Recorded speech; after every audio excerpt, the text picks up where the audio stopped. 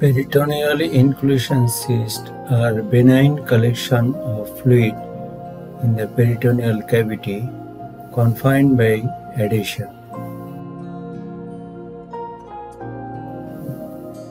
Patient have a history of multiple prior surgical procedures, endometriosis, or pelvic inflammatory disease.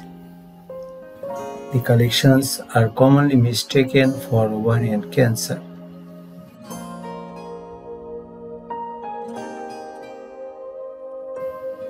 The ovaries are the main producer of peritoneal fluid in women.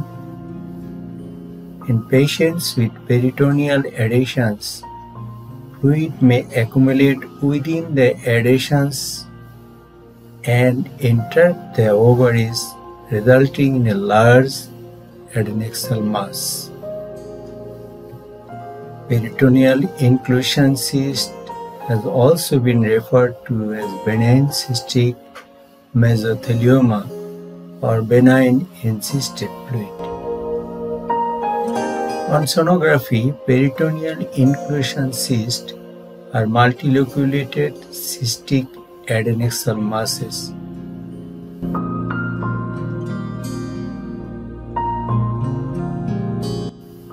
The diagnostic finding is the presence of an intact ovary, hemmed septations, and fluid. Peritoneal inclusion cyst must be differentiated from paraovarian cyst and hydrosalpinx.